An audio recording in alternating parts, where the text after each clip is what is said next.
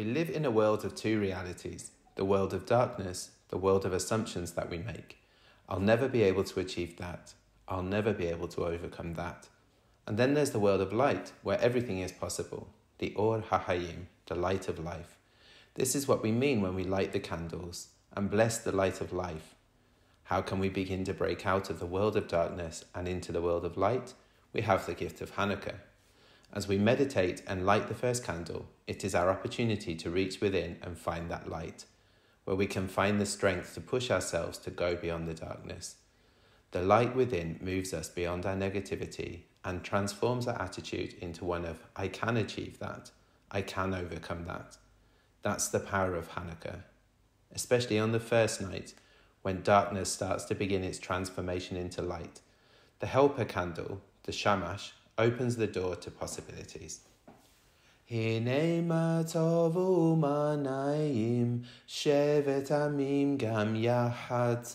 הנה מה טוב ומה נעים, שבת עמים גם יחד. הנה מה טוב, הנה מה טוב, לי לי לי לי לי לי לי לי לי לי. הנה מה טוב, הנה מה טוב, לי לי לי לי לי לי לי לי לי. Behold how good and how pleasant it is for people to dwell together. Behold how good and how pleasant it is for people to dwell together in harmony, in harmony. La la la la la la la la la la.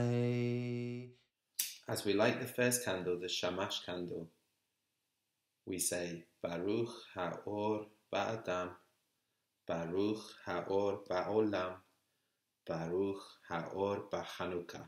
Blessed is the light in humanity, blessed is the light in the world, and blessed is the light in Hanukkah.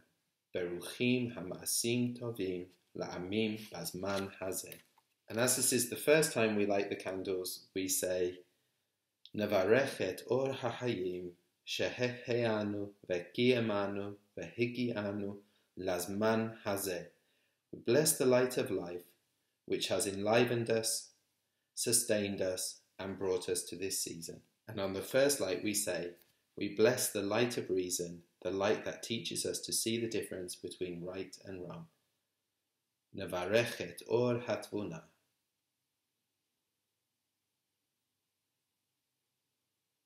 And on the second night, we say, We bless the light of self esteem, the light that is, inspires us to believe in ourselves.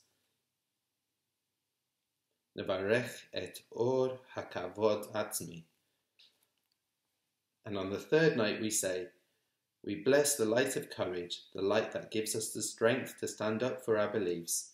Nevarech et or haometz.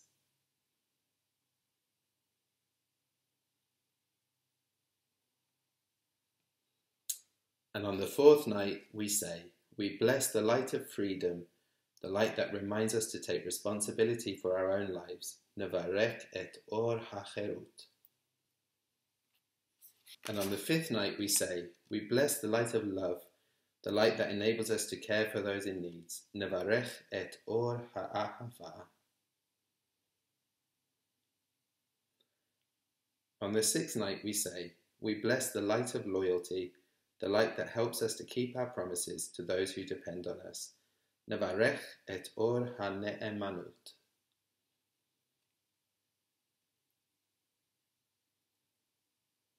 And on the seventh night we say, We bless the light of generosity, the light that encourages us to give even when we do not receive.